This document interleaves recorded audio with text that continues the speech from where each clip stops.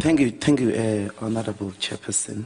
Look, it's true that uh, it, uh, we are engaging, rather, we're forced to engage in a futile exercise, listening to entities without accounting officers, uh, with whom uh, the very first question that you posed um, about the management of this budget, whether it increases, whether it reduces, has to happen between ourselves and accounting officers. So uh, that's the first thing. I think we must uh, align ourselves with uh, those uh, sentiments that uh, if the if, if the DG is not here, uh, literally we can't even have a meeting.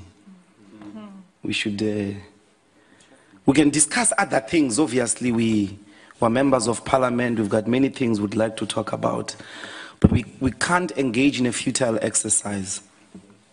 Uh, uh, we'll have to have the DG or the minister to be here in order to have a proper, intelligent, accountable conversation with uh, these entities. That's number one.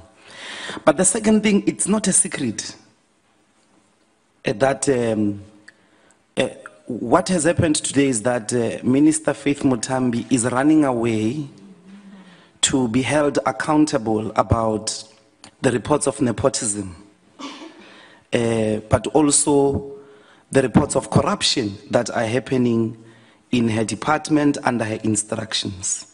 And this is a matter of urgent public importance that she's using state resources uh, for nepotistic reasons, employing people in, an, in an illegal way, firstly, but also in a nepotistic way. Also using public funds to fly friends and families and relatives way beyond the number that uh, is required. That is why she is not here. And that is why some of the members who would have wished this committee not to quorate are not here. There is a deliberate plan to collapse the functioning of parliament to hold the cabinet of Ubabaga Duduzane accountable. It must go on public. We're not scared to say those things. We know that is the case. One, she has run away to be held accountable in relation to that. But number two, the South African people must know that there is now a deliberate plan that some amongst us of members of parliament want to collapse this institution to do its job, this excellent job of holding the cabinet of Jacob Zuma, uh, Mr. Jacob Zuma accountable.